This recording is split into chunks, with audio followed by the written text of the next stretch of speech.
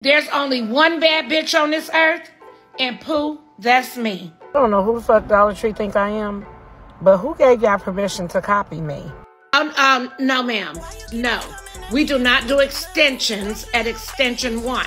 Excuse me, excuse me. I just need to ask you one question. Why the fuck are you always in my business?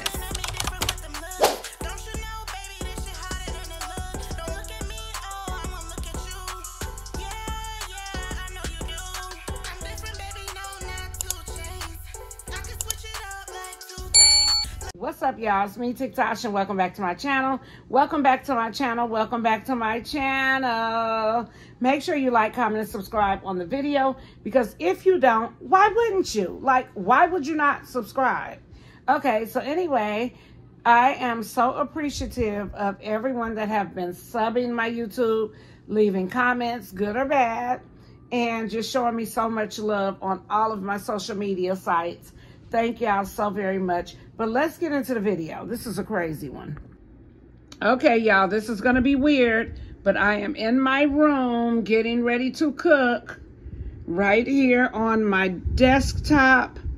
And of course, I am making my world famous nachos. And I'm not feeling the greatest, so I could not make it to the kitchen. So here we have it. Electric skillets come in handy, trust me.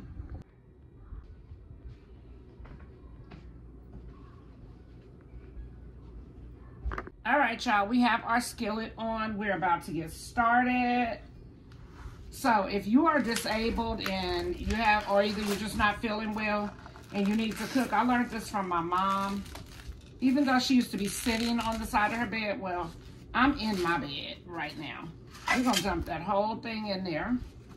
Have your trash bag handy so you can keep a clean area. Okay, take that, let's get ready. I still never got around to getting me one of those things that you mush the ground beef with or whatever you wanna call it. And this is just a little laptop desk that I have that this is on. I placed a towel over it. And yeah, so we're getting the ground beef going. And yeah, let's be right back. Once you have your ground beef where you want it chopped up, go ahead and I use the Season All by Morton's. And I'm not a Season All person, as I told y'all before. But since I'm not the only one that's going to be eating it, I'll put a little bit more than I normally would in it, okay? So here we go. Then we're just going to stir this all in before we put the lid on. And yeah, okay, once you have all that where you want it and how you want it, go ahead, take your spoon out, place it on like a napkin. And we are going to just set this right here on top of that. We're going to take our skillet top and we're going to put it right on. And yeah, one thing you don't want to do is leave any of this unattended. Okay, and if you're a child, I would not do this. If you're a responsible adult, I would definitely recommend that you can do this. But I will say it's better if you sit on the side of your bed and have everything off. So yeah, I'm still trying this. This is my first time today. You just want to keep checking your ground beef because you don't want this um, electric skillet on longer than you have to have it on, okay? So if you keep rotating your meat, the faster it'll get done. And then you can also keep chopping it down into smaller pieces.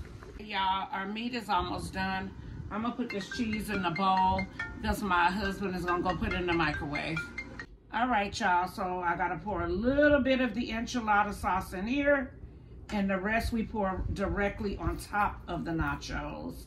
So yeah. Okay, y'all, and just like that, we're done. I'll show you the finished product. Hey, y'all, so this is the finished product and it looks amazing. Look at that. Let me twirl this girl around for y'all. Look at that. Made all the way from my bed. Yeah. Look like I've been to the taco place and I got me some water. Thank y'all for tuning in to my video. And like I said, do not try this in your bed unless you're a responsible adult No children at all, I do not recommend at all. No teenagers, no young adults. You get distracted too easy and you have to be able to sit right there with it and pay full attention. Okay, thank y'all for liking. Go ahead and leave comments. I know some people may say it's not safe, and you're absolutely right. But if you are responsible, again, you can do it. If you're disabled, you got to do what you got to do. Do what you got to do because I wanted me some nachos, and I wanted to cook them, so I had to make them right for my bed. Thank y'all.